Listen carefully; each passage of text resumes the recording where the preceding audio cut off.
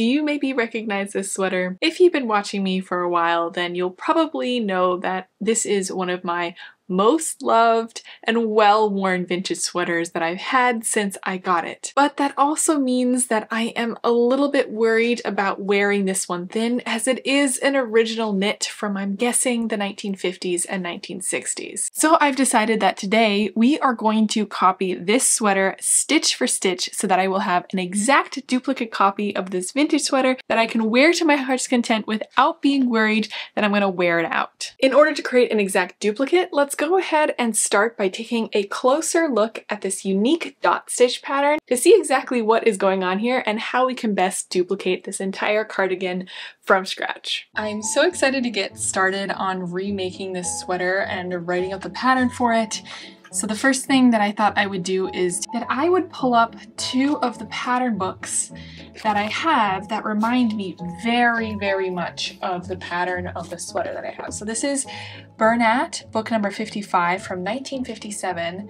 And if you ask me, the pattern on this cardigan on the front looks super, super similar to my own. And what I want to do is I want to knit up a swatch of it to compare to the sweater that I own, as well as this book. This is also Bernat. This is book number 66. My guess is late 50s, early 60s.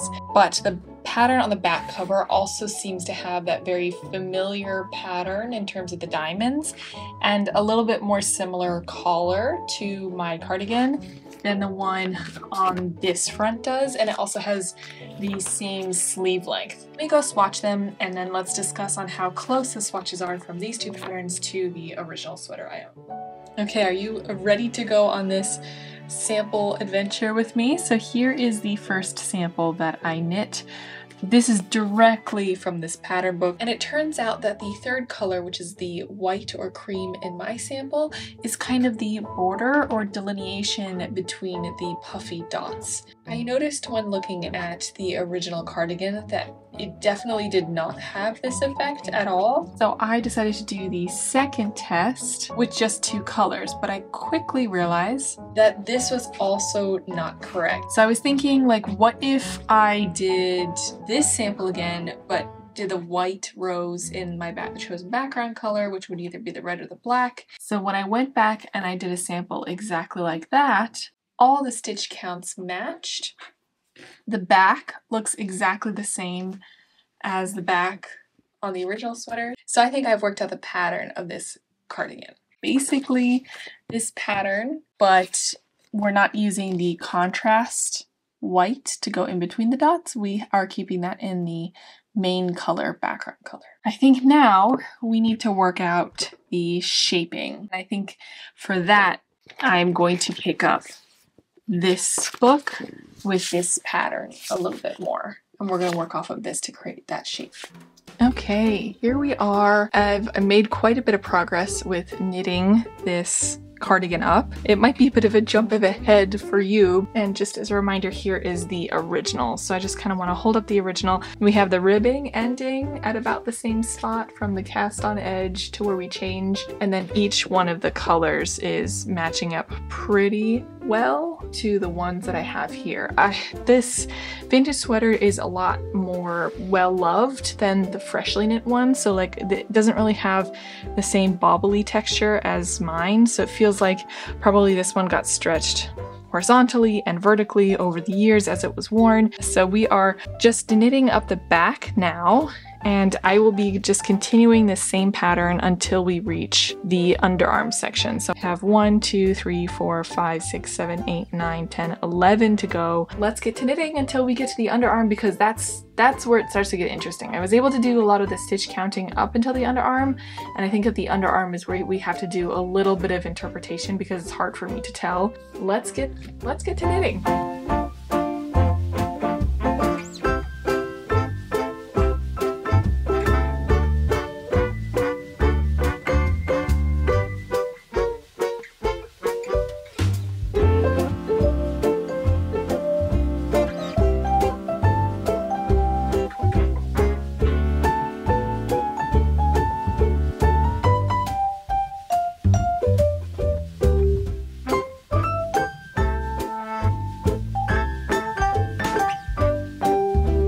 Interrupt myself really quick right here and let you all know that, as some of you might have guessed already by this point, because I did open up the call for test knitters a little while ago here on the channel, I am releasing this as my first graded sweater pattern ever. I'm very, very excited. It'll be from sizes 32 to 62, and I have opened up the pre-orders for the pattern right now. So the pattern in its entirety will go live on December 1st. However, if you go through my Ravelry link, then you can pre-order the pattern now. Just so that you all know, it means that when you pre-order it on Ravelry, you will get a link to a downloadable PDF that'll just be a placeholder. And on midnight of December 1st, you should get a notification or an email update, or you can just go into your Ravelry library and re-download an updated pattern, and that update will be the full pattern on December 1st. I'll also have it go live on Etsy on December 1st. If you want a slight discount on any of my pattern sales, then feel free to check out my Patreon. Different tiers have different levels of discounts. Okay, so check the links in the description down below. If it's before December 1st and you want to pre-order the pattern for this particular cardigan, otherwise let's keep going on working on this exact copy first.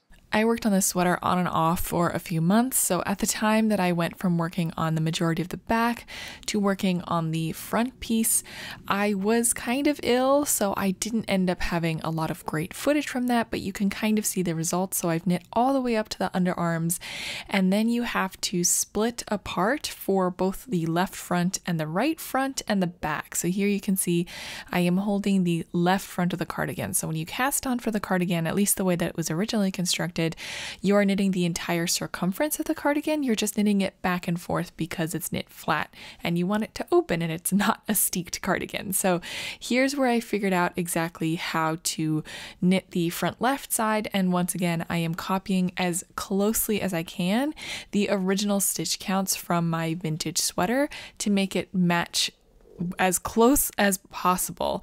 The next step is I have to knit a matching right front on this side right here that should match the left front that we've already knit and a back piece that goes in between, shaping for the armholes all the while. We're done with the body of the cardigan copy. I'm slightly concerned. I started out at a pretty good gauge and tension in comparison to the original sweater and this looks and feels slightly more scrunched up. One thing I have to keep in mind, and I might have mentioned before, is that the bobbles on the original have flattened out fully, and if I were to stretch this material out to how they've flattened out on the original one that I have, the vintage one, we do get a much better size that would probably fit me a little bit more. I could also sew up the shoulder seams to test that out a little bit and test out the fit. I actually might do that. That's not a bad idea. Before I move forward though, um, I you might see all these little papers flying about. Those are all the notes that I made while I was knitting this. I started off knitting this next to my computer the whole time so I could make notes in my Excel spreadsheet, but I then wanted to take it other places so I just made notes of it wherever I was sitting and knitting, and I need to translate that into the pattern so I can make a good note of it. Next steps, I'm probably going to sew up the shoulders and just test the fit real quick. Then I want to start on the sleeves. The sleeves are going to be knit flat. The original sleeves are also knit flat, so I'm just going to copy that style. I do want it to be a one-on-one -on -one remake. Let's show up the shoulder, show up. Let's sew up the shoulder seams and then I will show you what that looks like and then we'll continue on to knitting the arms or the arms, the sleeves. Sometimes I say arms and with arm I mean sleeves with that. I think I get it because in German uh, an arm is an Arm which is the same thing and a sleeve is an Ärmel. So it's like arm with a few extra letters. So I think in my brain, that's just why it works that way. So yeah, shoulders first, sleeves next. Okay, I should show up. Hard to say sewed up sometimes. I guess I'm trying to say like sewed up shoulder seams, and that is tough for me. I sewed up the shoulder seams, and this is what we're looking like. It does look a little petite in the front, but if you look at the back, I think we're looking quite good. It does have like, do you guys remember those shirts that scrunched up really small and when you wore it they stretched out? It kind of feels like that's what's happening with these bobbles a little bit. So I do think that this needs to be blocked for sure to relax the tension in the bobble slightly and then that will make this look a little bit nicer across the back. The front, uh, it's curling under significantly, so I would get a lot more distance like coverage out of this if it's uncurled. Now that this is done, let's move on to the sleeves. So the cardigan's arms or sleeves. Oh, I'm so sorry. I just got back from three weddings in a week. There's construction going on. I don't feel or look my best, but I really want to knit on this cardigan but I didn't want to keep going before updating you all. So here's where I've gotten to on the sleeves already, which is quite a bit of progress. I am knitting these sleeves two at a time so that I don't end up with second sleeve syndrome, which has happened to me a lot in the past. I got the cast on numbers and counts from the existing cardigan, I try to match it as closely as I could from the counts that I could see of the stitches that were there. And I have been increasing at exactly those same intervals that I can tell. I think I've increased as much as I need to, and now I just need to make it all the way up to the shaping for the sleeve head portion. And let's keep knitting. I'll try to film a little bit of myself knitting, but honestly, I'm just, I'm just wanting to wrap myself up in a cozy blanket with a nice show on and knit for the rest of the evening, so it might not be the most is there a ghost in this shot? Because it keeps on wanting to focus, like my camera wants to focus right there instead of on me. So I think we have, there might be a ghost right here who really wants the spotlight at the moment. but in any case, I will keep you as up to date as I can as I keep on knitting on these sleeves.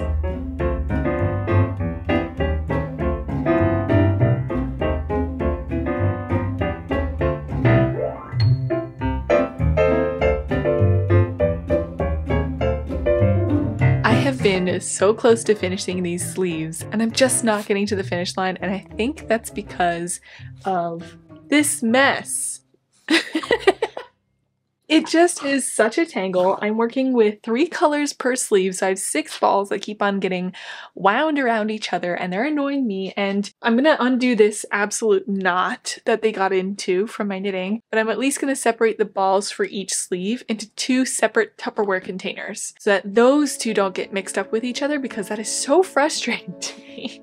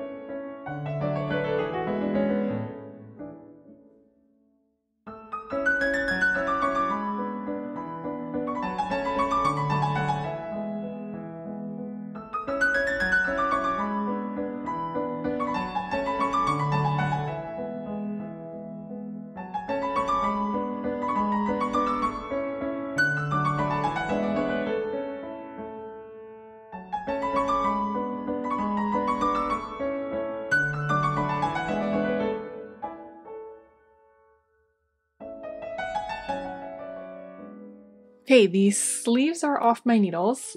Now I guess I have most of the pieces together and I am going to, what am I going to do? Set the sleeves in? Yeah, so I guess I'll, I'll see you when the sleeves are in place because I, I don't, that part for me is really annoying, so I don't really want to film it to be honest. So I'll see you when the sleeves are finished and ready to be shown. The sleeves are sewn on to the cardigan. All that is left is the weaving in of so many ends and adding the front panel for the button, like the button band. That's what the name is, the button band, as well as the collar. But this is what the cardigan looks like right now. I'm a little worried. I do know the button band is going to um, close up this space a little bit and that this is curled under slightly, but I'm worried that I didn't give it quite enough width across the front. I decided not to knit the button band at the same time as the main body of my knitting. Now have to knit the button band and either sew it on afterwards, which is I think how the original vintage piece did it. I don't think I'm going to be writing the pattern like this. And the other nice thing about that is too is that they did what looks like a sewing machine buttonhole. I don't think I'm going to do that either. I think that I'm going to knit my buttonholes in. And I'll be following the placements of what they did for my buttonholes as well. I knit the button band. So this is the side of the button band that will receive the buttons, so it doesn't have any buttonholes in it. Now I'm gonna knit the side that needs the buttonholes. Do you know what I just found out? The button band looks beautiful. On Nutella. What do you think, Nutters? You look so pretty.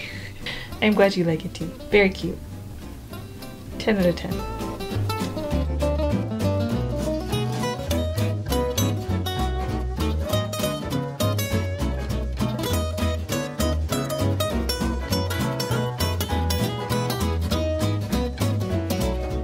For the choice of buttons, I went back to my vintage button collection and I managed to find buttons that were the exact same style as the original, as you can see here. But unfortunately, they were both the wrong size, the wrong color, and I didn't have enough. So I had to go to a backup button and I chose this one to finish off the sweater, and then it was time to do the final reveal.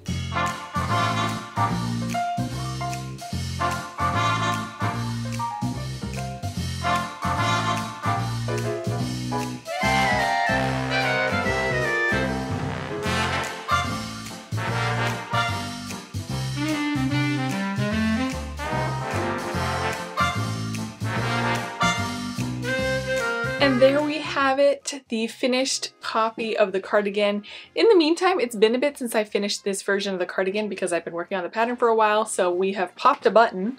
So I have to go ahead and find that button and replace it again. I've just pinned it in place for now. Firstly, I am so happy by my yarn choice.